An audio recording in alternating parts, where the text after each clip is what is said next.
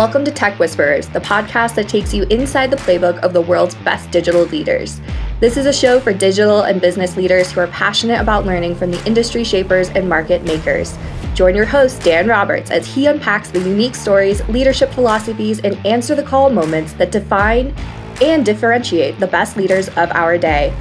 Our goal is to help you gain an edge and move you beyond your comfort zone so that you are driving more impact and value for your team, your company, and your career. Let's get into the show and hear from another amazing tech whisperer. Well, welcome back, everybody. I'm Dan Roberts, and excited for you to be part of the uh, the story today, which uh, includes someone who I think is the most interesting man in the world, and you're going to find out why. And that's why you're all listening, right? Because you want to learn, you're curious, you want to learn from these great leaders. And so, do you ever wonder where the journey starts for people like this? You know, for these top these top thinkers. Um, you know, what inspires a young man, our guest today, who was raised by his mom in a small town in India, to go pursue a transforming business model type career?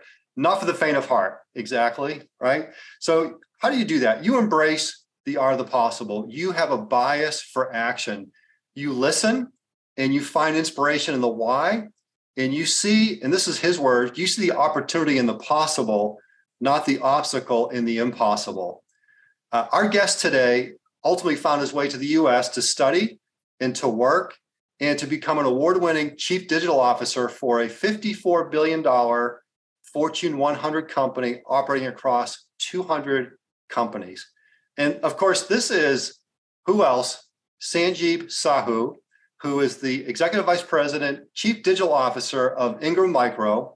And uh, we're going to learn about his humble beginnings and his incredible leadership journey. So, Sanjib, thank you so much. Uh, I know you haven't been sleeping much lately. You've got some big news we're going to break today, but welcome to uh, Tech Whisperers. Thank you, Dan. Uh, it's a privilege uh, to be a part of this, and I've been following and reading some of your articles and podcasts. You know, I'm humbled uh, to be called by you and talk to you. So it's a privilege, and I'm, I'm really excited to be here with you today. Well, feeling is mutual. We're going to have some fun, and and uh, you know, people know I'm pretty maniacal about the research I do, and and I've had so much fun learning about you, talking to a lot of people on different continents, and uh, your story's not an an easy road. You you had some pretty big ups, some some challenges, and uh, we're going to unpack that.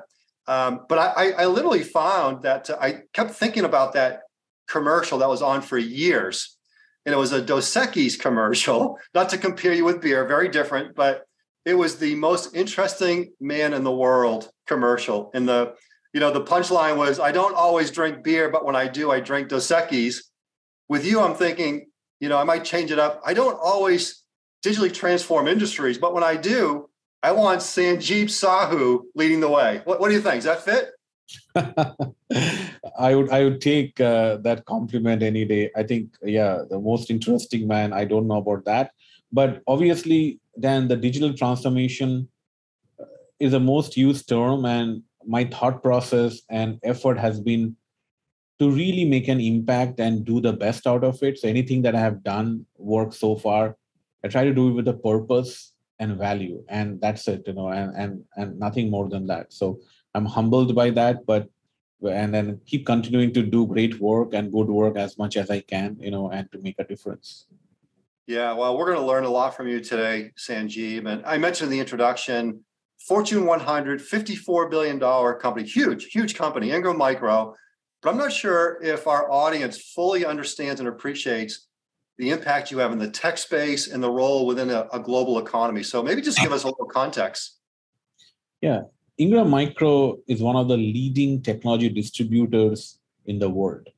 Now, if you think about, as you mentioned, the scale, you know, we partner with one of the biggest technology brands in the world, and we and then we have more than 1500 such vendors and OEMs with the top technology brands.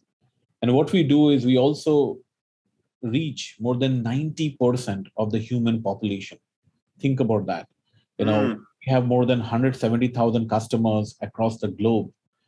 And we reach more than 90% human population, you know, and it's a massive, complex, you know, large organization. and we touch one of the most complex and big ecosystems in the world that is technology and technology distribution you know think about a day without ingram micro in the last 43 years we have been providing technology to our resellers our partners and then to our you know users there may not be a day in life without ingram micro because we have been doing this day in day out connecting and supplying and helping the entire technology distribution ecosystem. So that's how big Ingram Micro is about $54.5 billion revenue, large company operations in 59 countries, you know, all, of, all across the globe. You know, it's massive.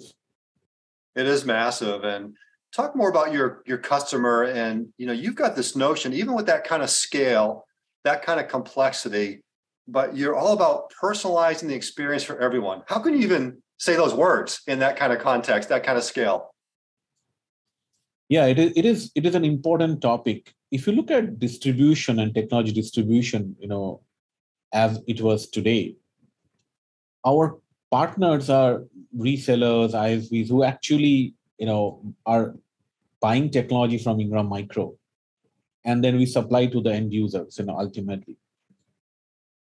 Personalization is very difficult because you need to understand what are their appetite for what are their buying patterns what are they quoting for which sector do they serve which categories do they do. So it is b2b but it's also you know they are catering to a b2c or other parts of the ecosystem mm. technology changes every day so there is a need for using algorithms to understand first what our customers needs are and personalize that experience, but also internally figure out what adds value. If we could not add value to that exchange, for example, we have lots of solutions, right? Technology from individual vendors. We need to aggregate them and create meaningful bundles and solutions so that we can push those recommendations to our customers. But that's not easy. Think about technology changing every day. If I ask somebody, do you know which laptop has the best battery? somebody has to do a research. Imagine in that world where technology changes every day, figuring it out which hardware goes with which software or in a cloud solution, it's very difficult. So there's a lot of research and process goes in in technology distribution. Imagine customizing all that with the power of data and machine learning and AI and really creating an experience. And what I call, Dan, this is more of a Sunday Monday blend. Imagine you are watching a game on a Sunday night, a football game. Your feet on the couch, you're relaxing, you want to have a pizza. You press a button, and the pizza is so 12 minutes away, you're the next stop. You love that experience. Then you're a little more hungry, go to Instacart, buy some more chips, some food, or you can go to Uber Eats or DoorDash, or you actually you know buy food, and you can track it. You know where the driver is coming. You enjoy the game, you sleep. You come next day to buy technology, you're manually researching. It's a disjointed experience. You cannot track your orders real time. But the same person, our partners, have a different Monday and a Sunday experience. Hmm. Our job, what we are trying to do is blend this, create the same Monday experience as they experienced on Sunday. That is a consumerization. It's not about just B2C and B2B. It is about blending a human experience, becoming an experience driven organization that creates that traction because today digitization is all about experience first and it, it, it includes personalization recommendation experience everything like that absolutely very well said and you know we wanted to get you on the show a couple months ago but i knew you were working on something big you couldn't tell me but I could tell. And so we delayed a little bit, and I'm really glad that we did. And I'd like to unpack this news you've announced recently. You know, this this new um, platform called Xvantage, and you know, it's an AI powered platform, right? It's uh, it's wrapped around your existing systems. Uh, you, I mean, you've basically created a digital twin, and I want you to explain that for people don't know what that means. But and you did this. I mean, it was a vision to reality in 15 months. So give us the give us the the high level, and we'll dig down a little bit further. Absolutely. So if you think Xvantage, it's a digital twin. What does it mean? So before you created digital platforms or IT systems and looked at adoption. In my dictionary, innovation first and adoption second does not work anymore. Mm. It's more, we need to create an operating model, a digital operating model that keeps on working in a DNA of the organization, creating an operating spirit to create true tangible value as your technology matures. So if you look at Xvantage, it is really an effort to transform Ingram from a traditional distributor to a platform company. And why cannot we be the platform company? Because we are connecting the OEMs and the vendors with our partners. But we needed product, data, network, and that's what we're focusing on. That was the concept to actually really create a digital twin such a way that everything that you can do with Ingram Micro today, you could do with this platform. So it's a business model transformation, not another IT tool and another way for the customers. There's no opt in, opt out. This is our way to drive customer experience. So, with that concept, we actually started working on it, you know, powered by some of our CloudBlue and other technologies. But we started with experience, a lot of design thinking. How do we create a very differentiated customer or partner experience? How do we stitch to create a frictionless experience for our partners? A very different experience, which is not easy because you have to take a lot of complexity out in the back end, it's data, different systems, uh, global countries. So we worked as a team. We brought in some of really good talent from Amazon, uh, Meta, and we also paired with our existing talent, worked together. We formed the DG operations group so that we have DG Tech and DG Ops both working together at, at tandem. So everything was the knowledge that you had with the operating people uh, who had so many years of knowledge what works and doesn't work and the people who came from outside matched together. So i call it inside out matched with outside in. That's pretty mm. important because you cannot actually do one or the other. So you mash them together. We and in a few months we piloted the platform in us and germany. And then in september we actually announced the full launch the platform in September uh, in US and Germany. Now we went live in Canada. And it's not stopping. We are going across all the geographies in next few months and till early next year. But there are two parts. Xvantage, we are continuing two week sprints to add functionality more and more and more to the platform. And we are also, you know, rolling out to all our countries. So the platform is completely AI based, uh, self learning we have built a real-time data mesh to take out complete complexity in the backend, and we have got really good feedback, you know, from our our partners. You know, you know, it doesn't require any training. You know, it is out of the box. Many many years of legacy replaced by a platform built in few months. So really proud of what the team has built. Yeah, yeah, I. It's just so exciting, and the idea of inside out, outside in, and uh, you're you're transforming at the same time performing. And that's a really hard balance.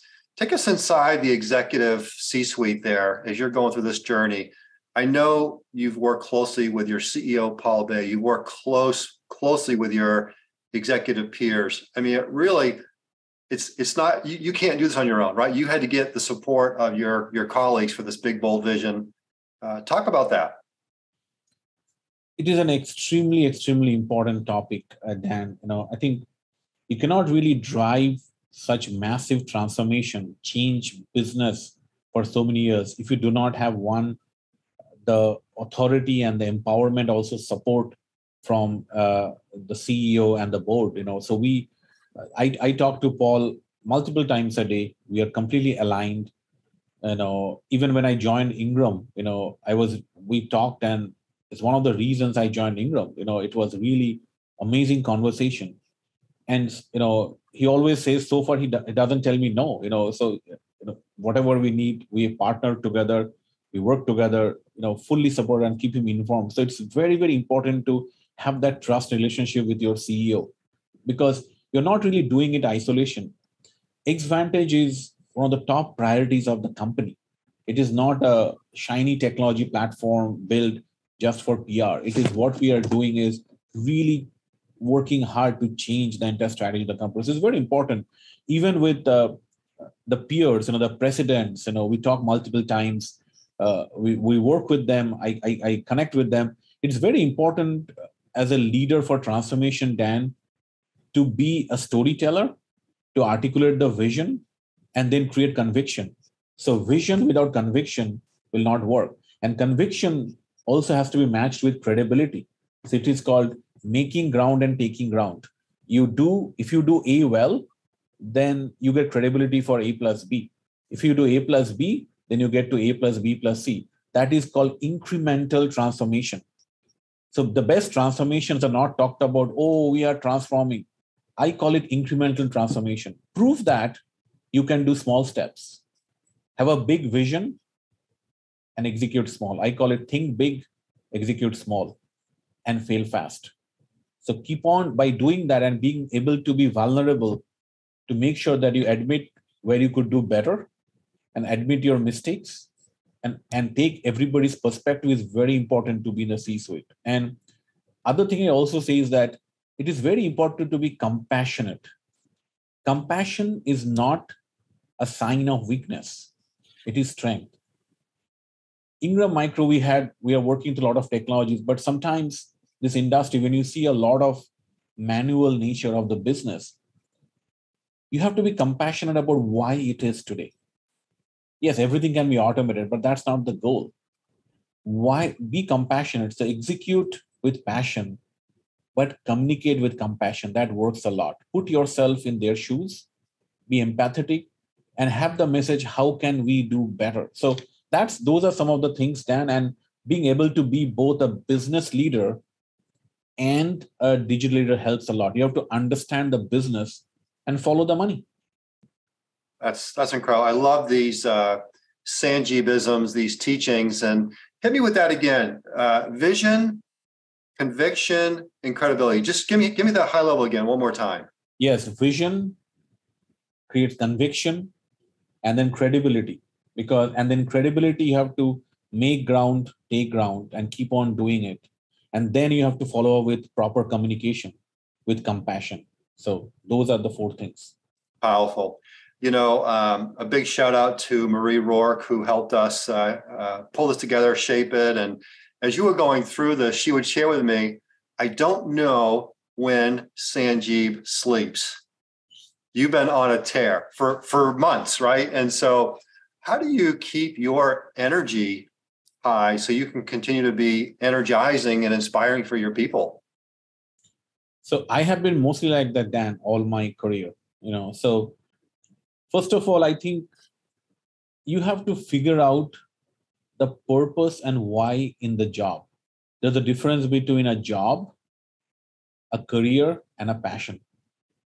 And if you follow your passion then that keeps you going. Like it is like an enigma you know changing an industry transforming a business. When few employees sometimes come in walk in and say hey are you sanjib yes so excited about xvantage we are so excited to be part of it. This is what ingram Micro. all these impacts inspirations it makes you feel great that we are doing something that 30000 employees can actually benefit. We can doing something that is putting ingram micro in the map. And once you are into it then you forget everything. You forget that it's a job. Then it becomes a passion. It becomes something that you live breathe sleep eat every single day. Xvantage becomes your life. And you love it. And when you love something you haven't worked a single day so it's not about working hard it's about enjoying when you work then you don't look at the you know work, hard work And then I talked about the whole purpose, right? I have few checklists. Like every time I figure out every night, what are the things I really suck at or I'm bad at, and what can I improve? And you keep on improving every single day. I'm a very, very hard critic of my own self. Very frequently, I fire myself and rehire myself over a weekend. Mm. Because if you do the same job, same way, then you really do not improve. That makes you complacent. You should be happy and proud about what you did, but not complacent because complacent kills you. So constantly firing yourself and rehiring yourself periodically gives you a better perspective. And then connecting with people. I love listening to employees, driving them, pushing them. Sometimes my employees do not know what they can do. They say, we can only do this much. Pushing them to create excitement, that really drives me. So that is what keeps me going. You know, it's not about the hard work. I'll never come and say, oh, I'm really working so hard. I'm enjoying it. Mm. How often do you get a chance to actually touch the largest technology ecosystem and impact 90% of the population of the world and build a platform that can change such a massive scale. Not often. Right. so that that's when a job becomes a passion. And if your job becomes a passion and enigma and you enjoy it then you don't count the number of hours you sleep or what you do. You just love what you do. And if you love what you do you keep going. Yeah so, Sanjib, I'm going to fire myself this weekend. And I'm going to challenge our listeners all over the world to do the same thing. Uh, but let's not leave it there. What's the thought process? Like, how do you go through that mindset, that process of rehiring yourself? What's the justification? Because I'm not sure if I'd rehire myself. So help me, help me rehire myself on Monday. The justification is that figuring out what you have done good and what can be better, have a different outlook, different perspective and think about the areas that you could improve and come with a different perspective on monday. So if you look at on the same glass sometimes the same object looks different from different angles. So think about your blind spots ask for feedback and then come back on monday with try to fix your blind spots. Because we all can do better. I can do thousand things better every day. I have many ups and downs failures we all learn every single day. But if we become stagnant, then we don't learn. Talking to your employees and also, hey, what can you think I can do better? You know, or your peers. So if you take all that feedback and just isolate yourself and think, how can I add more value to what I'm doing to the organization? What are my blind spots? What are the things I can improve on? It's just a few hours of exercise. It's like meditation. You come back, you'll have a completely different perspective, you know. And and the most important thing, you know, Dan, is attitude is very important. You know, it's the mindset and the spirit. A lot of people ask me, what is digital transformation? I always say it's a spirit, it's a mindset. That is the most important thing for any such transformations to work because skills can be taught. You can learn many things, but mindset kills most organizations they can transform. Same with leadership, Dan. You know, when the when we think that we know everything and what got us here will get us there it's not going to work. We need to learn every single day. If technology is changing every single day the world is changing every single day why should we keep our leadership the same every single day? We need to change. We need to conform. So that is what we would do over a weekend. So i love the mindset on mindsets and you've mentioned a couple times uh, the word spirit the spirit of the spirit of transformation Tell us about what that what that means to you. Mindset is very important. The spirit is important. I'll tell you why. Many times, human minds focus on the fear of losing hundred versus the gain of losing uh, gaining $150 because our minds are risk averse as leaders we focus on 40% chance of failure versus 60% chance of success but keep in mind, there is no safe transformation. There is no safe innovation. It is only a varying degree of risk and reward. The balance is on our control. But the mindset to actually take some risk to learn comes with attitude. And it comes with a spirit of entrepreneurship, spirit of innovation. Organizations don't need to hire innovators or entrepreneurs, Dan. They need to hire people with entrepreneurial spirit and innovative spirit.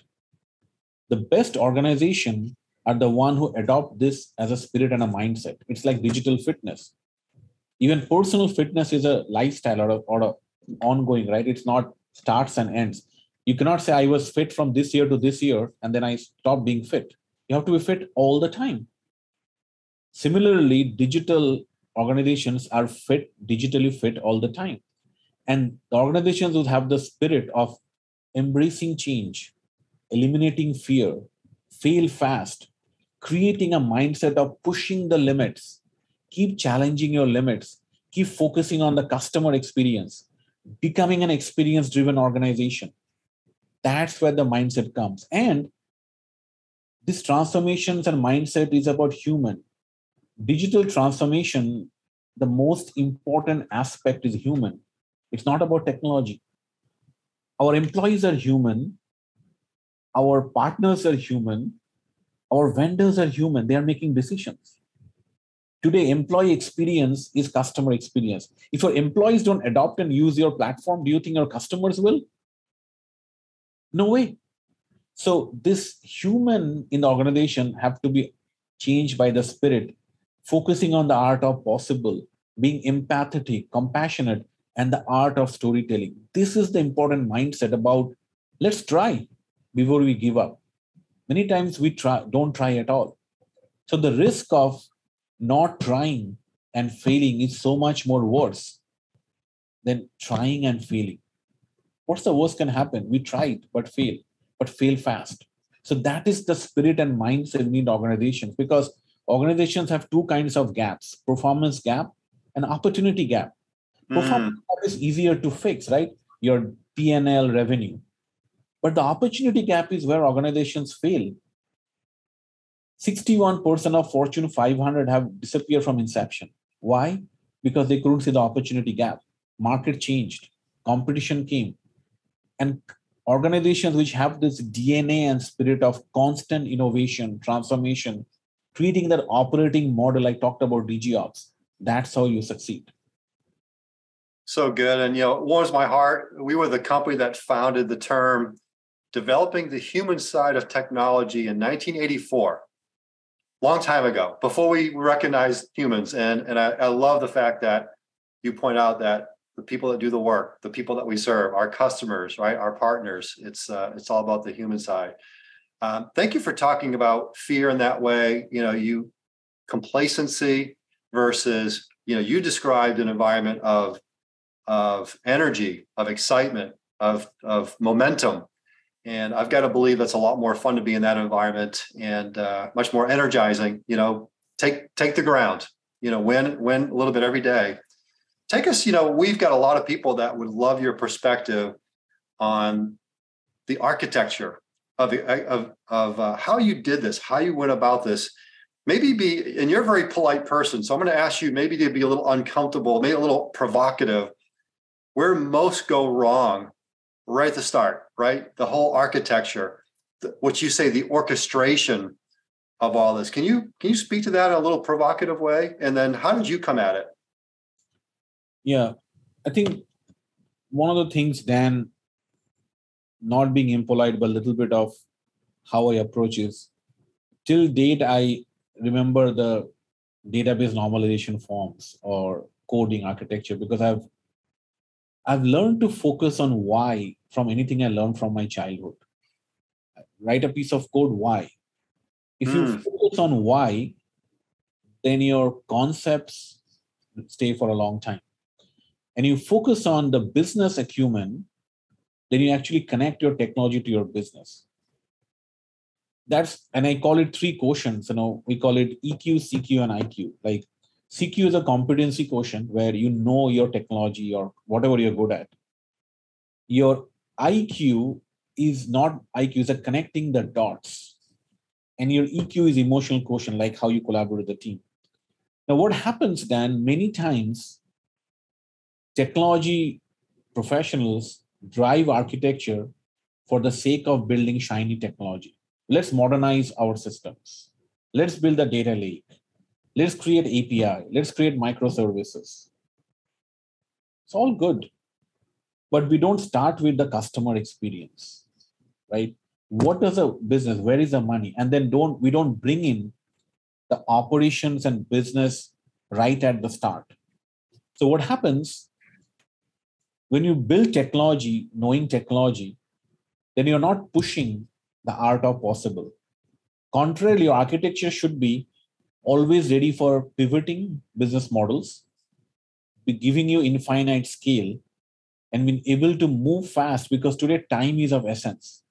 You cannot have an innovation idea for 18 months. You'll be disrupted. You got to move fast. So when you architect, few things. One, focus on decoupling. Decoupling your legacy such a way that you create abstractions in every layer, in the data layer, in your business logic layer, in your experience layer, and use API to chain them. It's very important. Decoupling is very important. Second, you cannot solve rationalizing legacy at the same time as building platforms. That's not going to happen because if you touch system of records at the same time you're trying to create the system of cognitive intelligence and engagement, that will be disaster because everybody wants to do everything. At the same time, if you try to modernize, modernize in pieces such a way that it ties to the overall architecture of the decoupling and abstraction I talked about. For example, a lot of people think moving to cloud will solve all our problems. That's completely wrong. You have to move to cloud for what? Now, let's say you are aggregating data across ERPs. You want to build an harmonized layer on the cloud with data lake with a real-time data lake or data mesh. You want to create purposive data stores. That makes sense to move on the cloud, and then you can get that computing power, real-time replication, and, and then on top of that, you can actually create and scale your reads. So how you scale your read transactions versus write, how you decouple your data layer with your engine layer, how you architect your engines to be completely headless, they're autonomous, how you stitch them together with API or data distribution like like real-time caching or uh, you know, message bus, put them together with event structure. These are very, very important. It has to be really thought through. This is the foundation of the company. And then take pieces that move to your overall direction, but you move keeping on customer. You start with experience first. And in the back end, keep on improving, improving. Don't wait. If you wait, it takes too long. So if you have mm-hmm. decoupling, you can actually work on every layer in a different speed, but still you can move together at the same front. That is very important. Don't do cloud for the sake of cloud. Don't do API for the sake of API. But create on how do we harmonize, aggregate in a layer that can decouple my legacy. How can I make my engines so that tomorrow I add, a, add another engine to a different data? I don't have to make my changes. How can I create my experience where I can change my experience without touching them.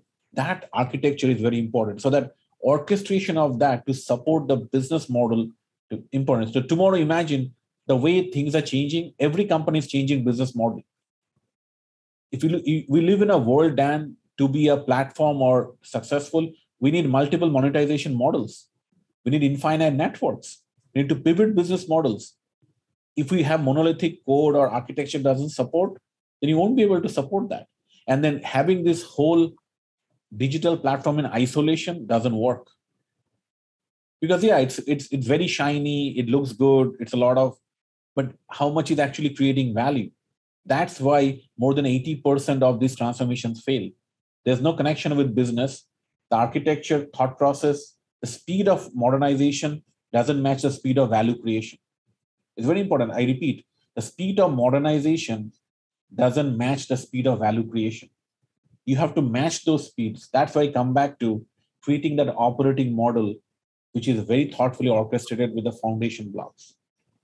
You know, even more powerful when people recognize this is not your first rodeo. You've done this before, other companies, other industries, And so I really want to, I want people to take heed of that. And, you know, as we fire our health, ourselves this weekend, think about these important points. Think about so it's uh, it's the CQ, which is the competency quotient. It's the IQ, which is not what we think. It's the ability to connect the dots, which those are very interesting uh, delineation there. And then the EQ, which is the more the uh, the the emotional, the people side of it. So great, great insights. Uh, Sanjib, one of the things we did, we did a little detective work to find somebody uh, interesting to come and be the mystery questioner. So I'd love for you to uh, to listen and uh, tell us who this is, and then have some fun with with the question. So let's listen to the question. So Sanjib, I've known you for years. And the most amazing thing that I've observed is the fact that despite whatever condition you're in, and despite you know the cards that are dealt to you, you manage to make it work. And we call that MacGyvering it out. What's the secret sauce behind doing that? I love that. I've never heard that term before, MacGyvering it out. So who is that, Sanjib? I think it sounds like Ray. The voice sounds like Ray. Is it Ray Wang? That's right. Ray Wang, good good call. And he has uh, such a good voice. He's like a radio jockey, you know, like video jokes. I can I recognize his voice, you know. Ray is a, a, rock star, right? I mean, he runs Constellation Research, so all those innovators work with him. He's got books. He's got Disrupt yeah. TV, which I think you're on a great uh, podcast. You, you, see him on TV all the time. So yeah. have some fun with that with Ray's question. Yeah, it's a very interesting question. So I'll go back to my childhood uh, to answer that question. So I was born in very humble beginnings in India, and when I was very young, uh, I lost my father. And when I lost my father, I had asked my mom uh, one question. And that day, my father died. I remember on the New Year day, I asked my mom, uh, "So can I go and play with my friends?" And my mom said, "You will never be able to see your father again." So go and see him. And I saw how much she was broken down. I was very young to even understand all that. And then what I observed was suddenly life changed. Financial conditions were not the same. A single woman bringing kids up, it's not the same. So we learned to actually be happy and manage with whatever we have. That's the first cards were dealt to me by God. And we I learned to actually manage, change myself, come out of it because I was the elder son on the family. I had to take responsibilities when I was very young. And that matured me. And then observing uh, my mother, I learned entrepreneurship. What is entrepreneurship? It is making every challenge an opportunity, focusing on being optimistic, keep being frugal and judicious about what you spend, but most importantly you have to always balance with whatever you have. Doesn't matter $60 a month you have to live life but be happy.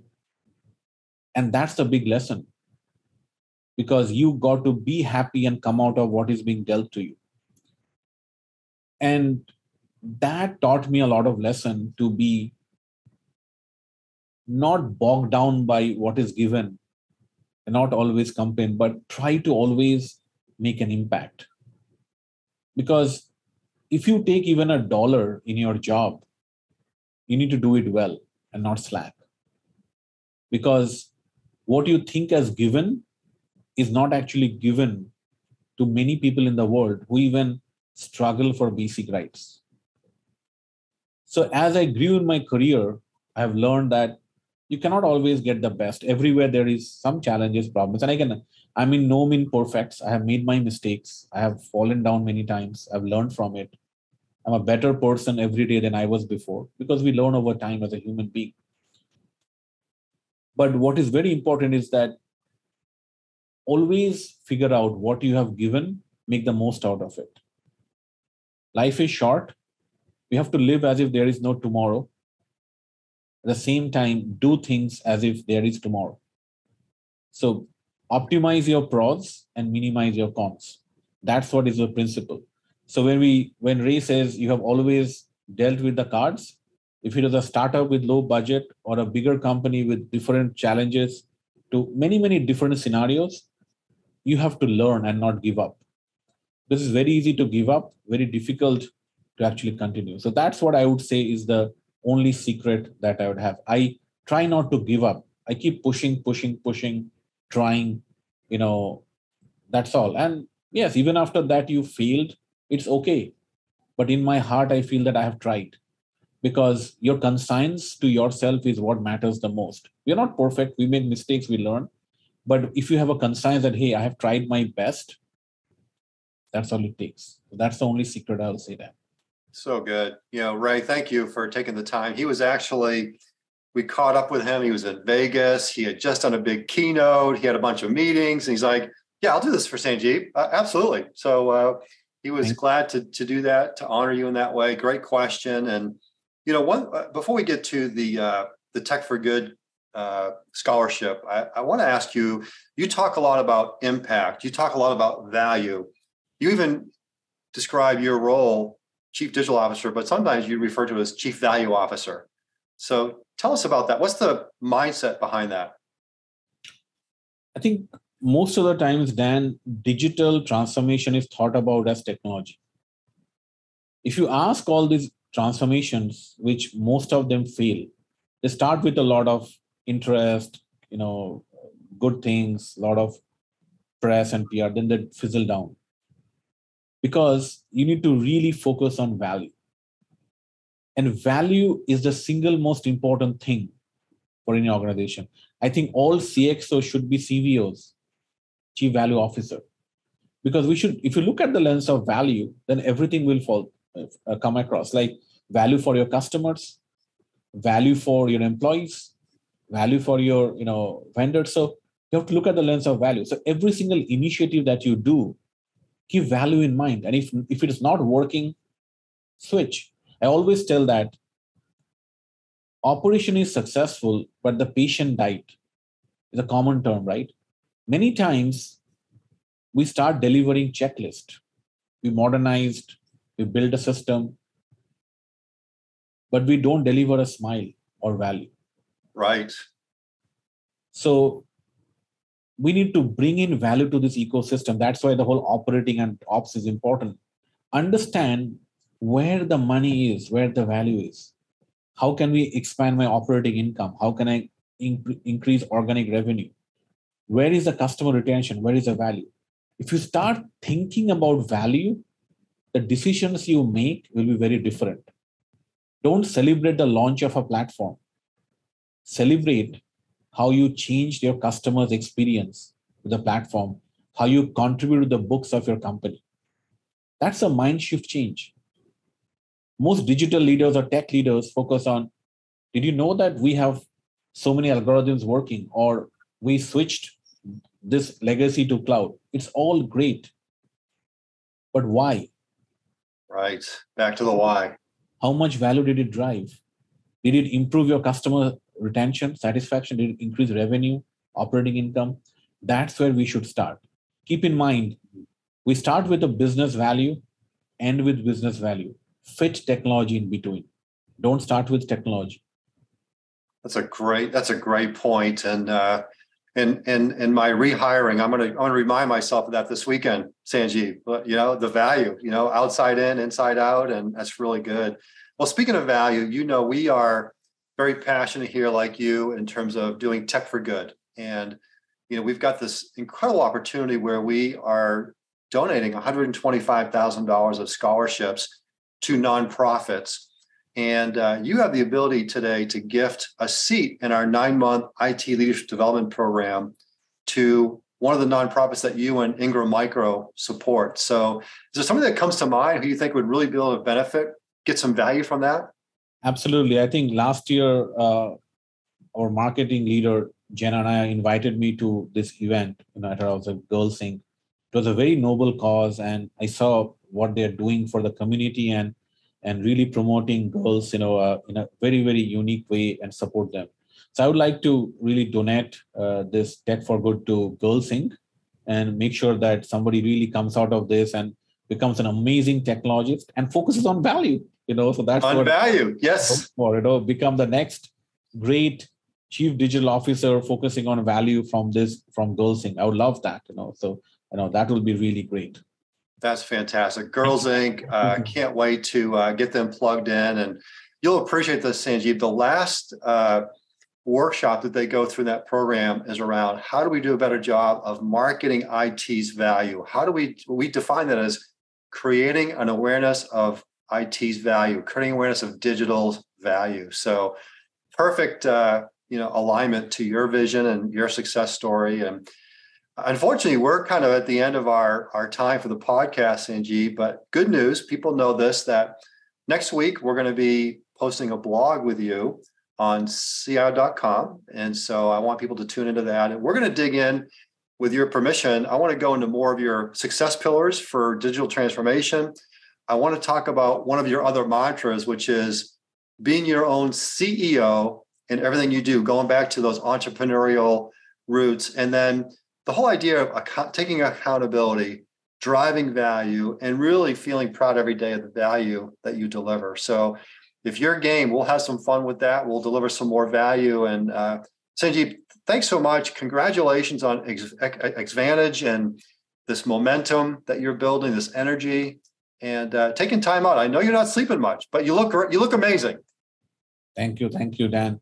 It's really an exciting time to be at Ingram Micro. You know what we are doing, the teams are doing.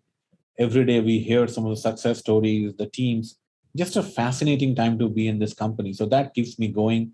Yes, I will try to sleep more, you know, and uh, take rest, but we're not going to rest till we actually make XVantage, you know, really transform this industry, you know, and that's why we're here for. That's our purpose. That's our why, and to really improve the experience for our partners and our vendors. And we will not stop, you know, to do that. So it's, it's exciting. It is really exciting. And thank you for having me here to share our story. I'm really truly humbled and honored and if this can inspire any leader any upcoming leader or even anybody that's worth it you know again we we all keep learning today and if there's any suggestions for me to improve or do better i will take it every day so thank you dan for having me here. Thank you thank you sanjib. I am truly inspired. I know you've inspired many many great lessons many great sanjeevisms. And uh, thank you all for tuning in. And until next time you all stay well. Developing a robust pipeline of future ready IT leaders who know how to show up and engage differently is paramount to success today. If you would like to learn more about the Tech LX Leadership Development Program that Dan talks about in the podcast, we invite you to visit techwhisperers.net. Equip your workforce with a new mindset and skill set needed to maximize impact, increase engagement, and build a world class talent magnet brand. You've been listening to Tech Whispers, inside the playbook of the best digital leaders, a Ouellette and Associates podcast. Keep connected with us by subscribing to the show in your favorite podcast player. If you like what you've heard, please rate the show, as this helps us connect the world's best digital leaders with those who aspire to learn, grow, and thrive in this amazing profession. Thanks for listening. Until next time.